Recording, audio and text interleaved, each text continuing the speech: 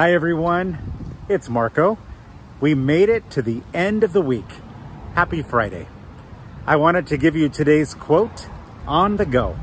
And this one is from Albert Schweitzer. Happiness is the only thing that multiplies when you share it. Have a great weekend.